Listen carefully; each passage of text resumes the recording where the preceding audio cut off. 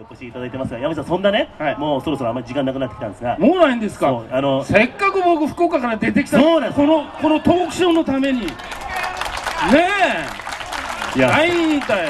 この後何するか。この後どうせ弁当食うだけしかないんいですよ。やこの後ピッチャー山内。あ始球式。始球式。でも僕ホームまで届かないです。もう投げれないですからね。いや今日も内側えぐってくださいよもう、まあね。はい ただね、ええ。今僕が、ええ。あのインコースへ行くってもし当たったとしても、はい。パンって取られる。ハエが飛んできたみたいな、はい、今はね優しくなりましたからね、はい。まあでもねそんな山内さんが大阪からまた何かの縁があって、えー、大英ホークスになって九州に戻られるわけですよ、あはい。ね。え、はい。これもなんかこう不思議な運命のようにも思えてくるんですね。あーね。ですね、はい。い、やあのー確かにね、ん。南海から、はい。その南海が身売りするっていうのは、ええ。めっちゃ辛かったですね、はでも、まあ、それを切り替えるには、うん。九州だというはい。ことで切り替えましたよね、えーなるほどね。でも考えてみたら、まあ、大英ホークスうんになって、よかったなっていうのは待遇が変わったですよ、はい。クリーニングしてくれるようになったんですよ。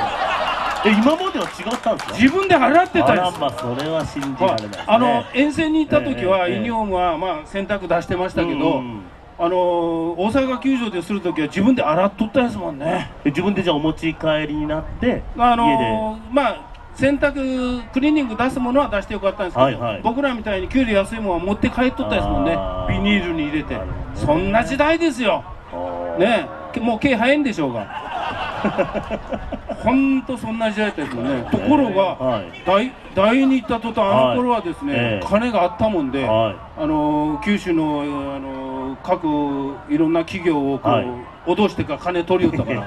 スポンサーがねあスポンサーそうそうそうそう。はい。だから金あったもんやから、もうええ全部選択してくれるってですね。あー。移ってよかったって。あ思ったジュースもですねあのやっぱほら飲食業だから、ジュースもタダで飲んどったんですそこでもちょっと笑ってもらうね。はいもう。ちょっと笑ってはそうですね。いいや本当本当。まあ待遇がね。待遇が変わったですね。まあでもでもやっぱり南南海は良かった、ね。うん。はい、南海ホークスはもう本当僕の心のふるさとですそうですね。まあ本当あのプロとしての第一歩をね、はい。あの記されたそのチームでもありますし、人生かけれましたもんね。本当そうですね。うん。その九州から大阪で勝負をかけて出てきた、まあ、はいそこにはいろんないきさつもあって、うん。えー入られたわけですけどもそこでプロとしてピッチャーとして、えー100勝も達成されました。100勝達成された時はもうこれは大英ホークスだったんですかね山口さん。ああそうですね。そうですね。ね。に200勝でしょ？あ200え？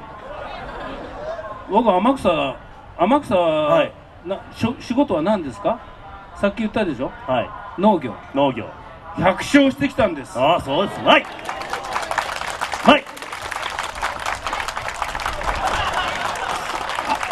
あの僕らのはい。頃はですね、え子供の頃は、はい。今のこういうね、うん。あのいい、ま、あの時代じゃないから、はい。の農業百姓の手伝いをしないと、はい。あのアイスキャンデーとか、はい。い、ろんなの買ってもらえなかうったんですだから必死で家の手伝いして百姓したんですよ、はいええ。だからプロに入って百姓して迷宮会ですよ。プラス100勝で200勝200勝したんですよ僕200勝というねいいオチがついたところで、はい。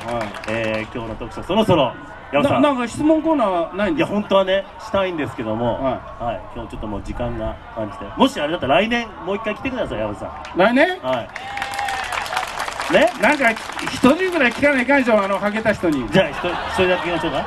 一人だけ。はいはい。ご指名でございます。質問。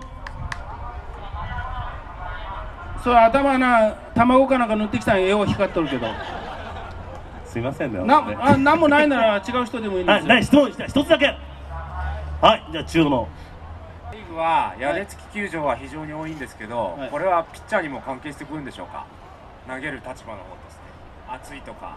ああもうそれはもう当たり前のことですよね。僕らの頃は全部屋根付きなんてないから雨の日は中止になってスライドしてから体調崩してたけど今は夏場でも冬場でも冷暖房付きですからねまさか野球を冷房付きの中でできるなんて 夢にも思ってなかったですね。そうですよね。なのに夏バテするとかっていう話してるから、甘えるなっていうことでしょうね。ね、今、その山内精神を、今、社会人のね、えー九州三菱自動車の方で、えーピッチャーを教えてらっしゃいますので、えーまたこの山内門下生がですね、えーこあのプロのね、あの入れますよ、はい、プロに入入れますよ、はい。えーピッチャー、えはい、今も、なんとかいけば、この1、2年で、はい。今年の冬ももしかしたら1人ぐらい有吉っていうのが入る可能性はあります、え今、みっちり鍛えてー、まます。あそうですか。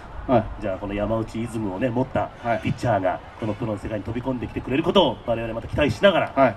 あの、まあ、はい。プロ入れるときは南海ホークスにしか入れませんから。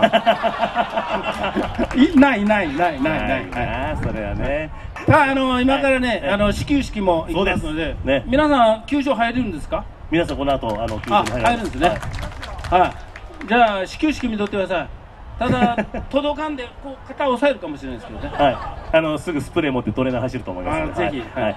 よろしくお願いします。今日のゲスト、えー素晴らしいお話、まだまだあの聞きたいこといっぱいあるんですけども、また次の機会ということで、えー今日のゲストは山内貴則さんでした。どうもありがとうございました。どうもありがとうございました